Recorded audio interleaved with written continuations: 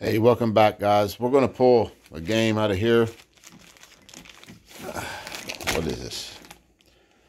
This will be World at War issue number 76 from February and March 2021. Invasion Norway. Let's open the bag and see what we get. Of course, it's not going to cooperate.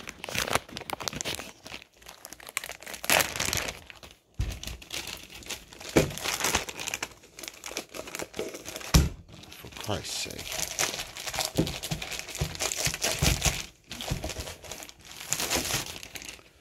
All right, so first here we have the magazine. It's a nice magazine. Um, I, I always liked World at War. It's a good magazine. So let's. Well, here it is right here. Rule page number one. And it goes to page 16, like they usually do.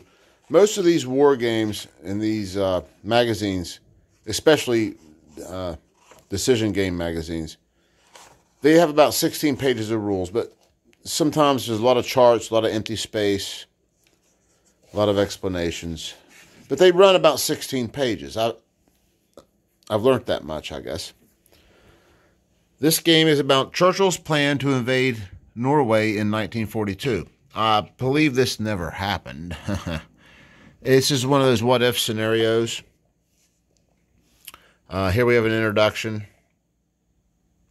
They talk about uh, Allied force groupings, Sweden, Norway, and Finnmark, Soviet Finnish border. Uh, then we go to the components. Looks like uh, standard NATO symbols. Ooh, look, Soviet ski troops. Uh, up here's an explanation of the counters. Looks like they have an attack, a defense, and a movement factor.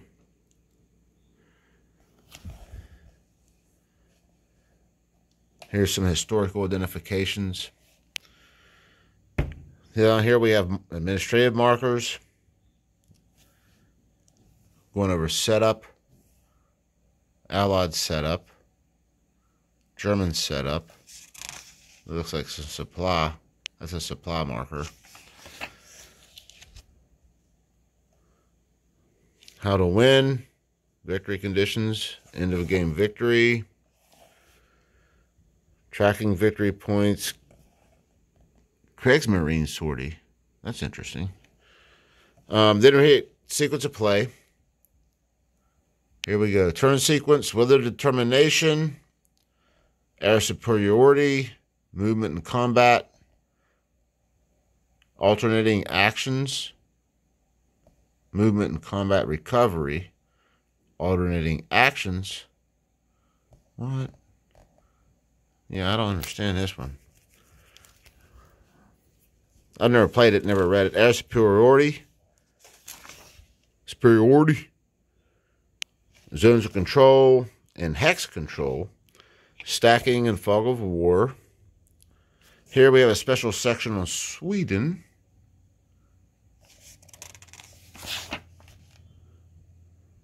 Here's some more explanation of air superiority. Reinforcements and replacements. Here we go, supply.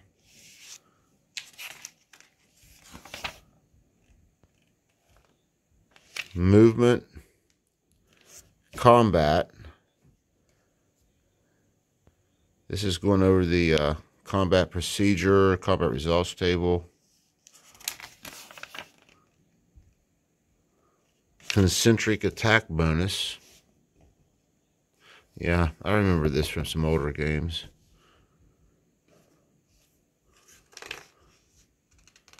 Momentum attacks. Hmm.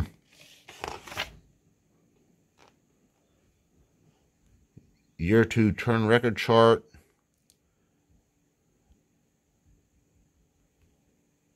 Oh, these are some variant rules. Oh, so the rules for this game only come in at 13 pages.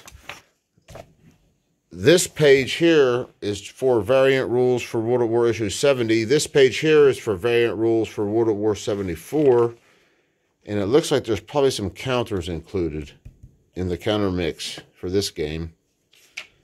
And then the uh, the final page is Operation Jupiter charts and tables. I don't this ain't Operation Jupiter, right? No, this is Invasion Norway. Is it Invasion? I don't know. Anyway, let's look at the rules. Let's take a look at these counters.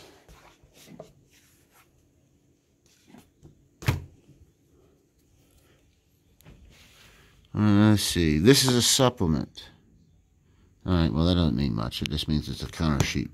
Um, they're usually, oh, here we go. Great Pacific War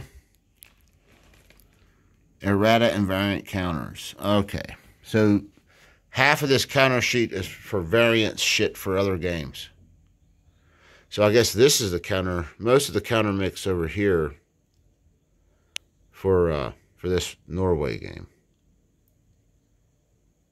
Oh, wait a minute. There's Operation Jupiter. Oh, maybe Operation Jupiter was the British. Oh, well, you know what? Anyway, this is the counter sheet. Standard NATO symbols. You have mountain troops, regular infantry, uh, airborne mountain troops. What the hell? Um, you got some supply counters, some Marines, commandos. Okay, standard what you figure you'd have. Now let's look at this map. I'm a sucker for maps. Big, big fan of the maps, I am. Ooh, look at this one, boys. What the... North. So we're looking south. So Russia would... Oh, okay. I see what's going on here. Here's Sweden. Here's Norway up here. Here's Finland. Over here is Russia. And the the red borders, I reckon. Oh, here's Finnmark. It's like its own little country or something. I've never heard of it. I'm to have to look at that up. Um, but anyway, uh, the map looks pretty good. It's got your uh, forests, rough terrain, roads, lakes. I don't see any rivers. The map is certainly functional. It may be kind of dr drab, but it's functional, which is all I give a shit about.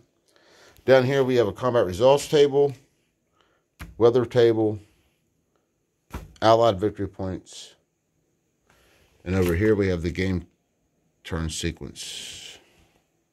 Or turn record, sorry. This actually looks like a pretty decent game. Um, I'm certainly not going to play it. If any of you guys ever play this game, let me know how it plays. It looks pretty daggone good. Where's the ski troops?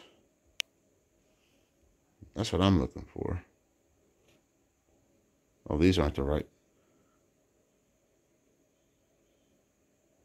I don't see any ski troops in here. Oh, there they are. Soviet ski troops. Why don't the Finns have any? Oh, that's German. Okay. Well, guys, thanks for watching this video. I'll see you next time.